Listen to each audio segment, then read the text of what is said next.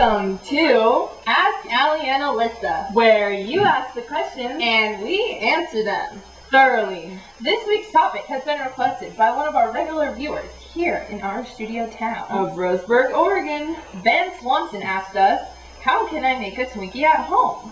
Well, we brought him here so he could have a first-hand experience of how to make a Twinkie. So get out your bowls, mixers, And spatulas, because we're gonna whip up some Twinkies. Oh yeah. Here comes Ben now.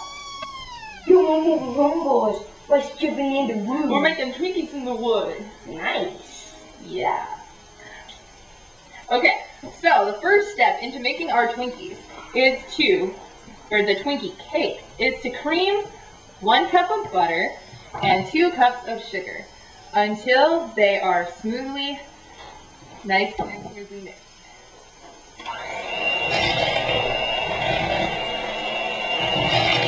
Make sure your butter is at nice room temperature for easy mixing.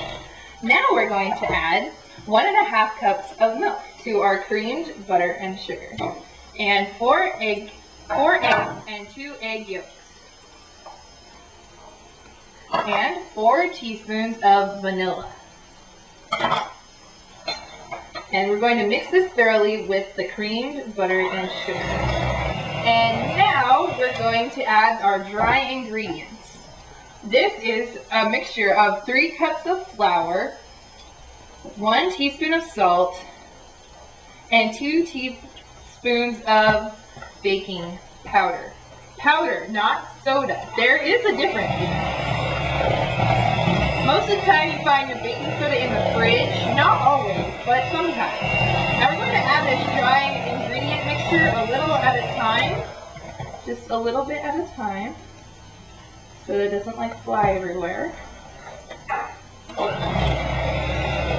a little at a time. Now that our batter is prepared, we can put our mixture away. Prepared batter. Very nice. So, we're going to pour some batter. Three-fourths, uh, fill each thing three-fourths full so that it doesn't overflow. And this is a special pan, special Twinkie pan that you can get in this big set that you can probably buy on eBay or any major online super store. So we're going to fill this like three-fourths of the way full with the Twinkie batter so that it gets all nice and in there.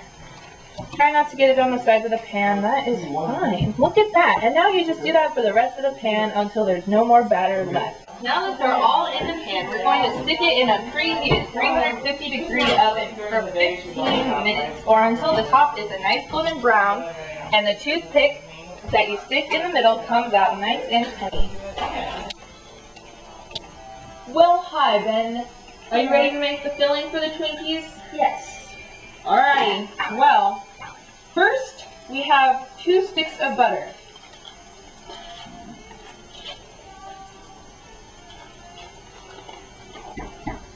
We also have two cups of powdered sugar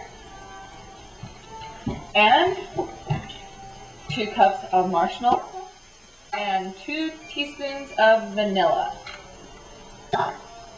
Once that is all in the bowl, we will mix it with the wonderful and good old fashioned mixer.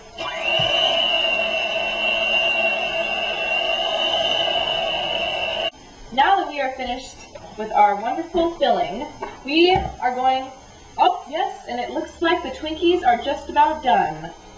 Oh my gosh, the Twinkies are almost done. All we have to do is take them out of the oven and fill them up.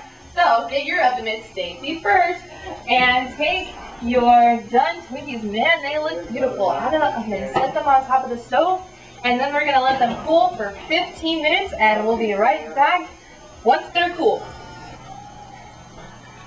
Now that we have finished our Twinkies and they are cooled, we can inject them with the injector.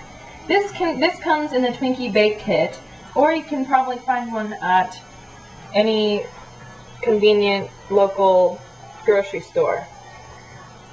So, first, you pick up a Twinkie, turn it over, and inject one in the middle. And you squeeze with the injector. Then you do it again in three or two other places.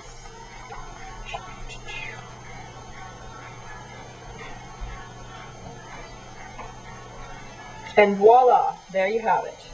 A yummy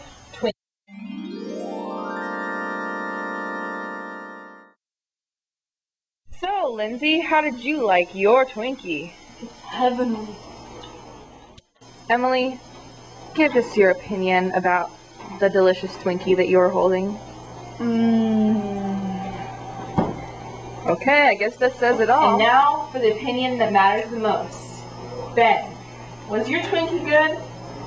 It was good. Oh, it was so That's all, good. folks. Mm.